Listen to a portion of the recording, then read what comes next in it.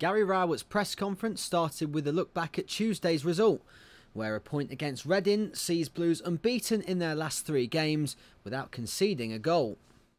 Uh, I think on the back of the previous two games, you always know that it's going to be difficult to keep replicating that type of performance because I thought against Norwich and against Fulham we were we were excellent. You know, we were really really good and ever so pleased with with lots of aspects of those performances.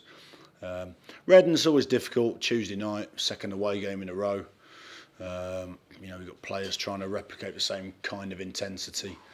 Uh, not long after, I think they had an extra, almost an extra 24 hours um, on us. So I think in terms of that, I was quite pleased with the, the, the, the solid nature of our performance. I thought that um, we showed once again a real determination and resilience to not concede a goal. Um, maybe at the other end, if we'd have took one or two of our set piece chances, then it could have been a, a, a, an even better evening. But to take seven points from the three games and, and to be slightly disappointed about the way we used the ball in transition when we won the ball back, you know, we didn't use it as well. We didn't spring forward as quickly.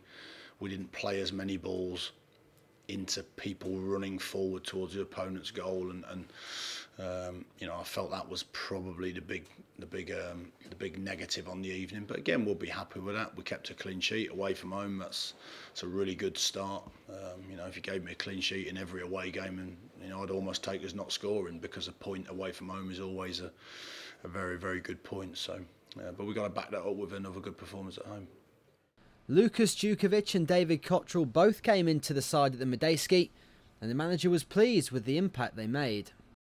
Yeah, I think again uh, we've got a good enough squad to do that occasionally. It's always a tricky one because you don't really want to try and change a winning side. You know, there's often the old mantra from most managers that will say that you don't like to change a winning side.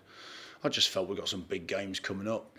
I felt as though we had two good results, so it was a good opportunity away from home to see if we can keep that energy level up. And I thought Lukas gave us that energy level. Uh, I thought in spells of the game, you know, he held the ball up well. He's looked dangerous. He's had shots in in both games. You know, for Fulham game that he came on.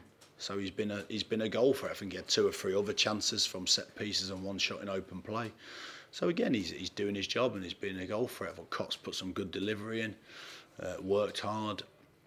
Again for any of those attacking players it's you know until you've had sort of three four five games on the spin which is difficult when the team's playing well it's hard to really judge those players solely on their performance. But I thought for a, a one-off game to come in and do a really really good job I thought they both both contributed really well to a team performance.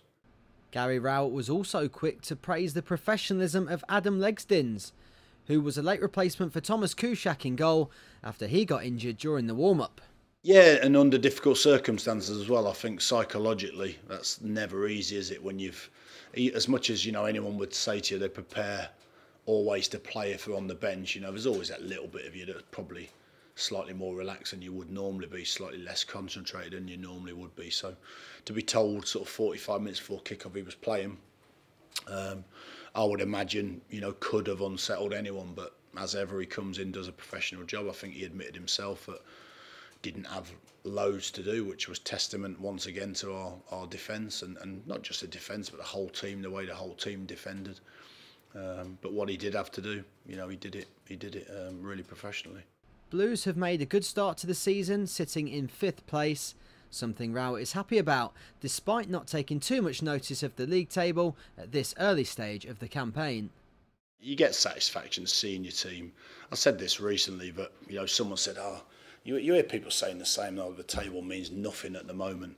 No, it doesn't, but I'd, I'd rather look at the table and see my team nearer to the top. And I think you'd be stupid to, to think you, you're not bothered if your team's nearer to the bottom, you know, because you've got a lot more work to do to catch everyone up. So um, I'll still look at the table. I don't take much precedent in it, but I have my own calculations of you know where we are on the table, how many points we have per set of games, and how that equates to what you've got to do on average to finish where you want to finish. Um, so, of course, to start well and to build some decent points up early on just sets you off on that path that you, you hope for rather than playing catch up. So now it's up to us to maintain that. Um, you know that sort of, as I said, that's that strong backbone that we've showed in, in the games uh, and keep building those performances.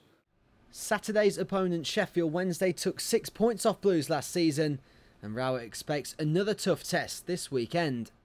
I'd, I'd expect him to be up there. I think when you've spent um, the amount of money you've spent, you know, in terms of enticing someone like Steven Fletcher to the club and keeping Forestieri at the club and bringing Gary Hooper, and you know, got to listen, they've got an array of fantastic attacking talent, but you know, it means nothing when you when the whistle goes and you, and you start the game. You know, it just means you have to come out with a clear game plan to stop them. It means defensively your players are going to have to be good to stop those players, but it also means that they're going to have to stop ours. And, and as we saw with the last home game, you know, a very, very good team who spent a lot of money um, struggled to stop us. So, um, you know, that's what we've got to be mindful of.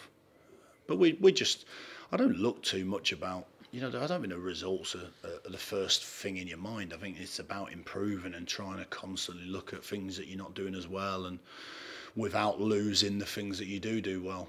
Um, you know, and I think that's always our our challenge of that sort of continuous improvement as we uh, as we go through the season.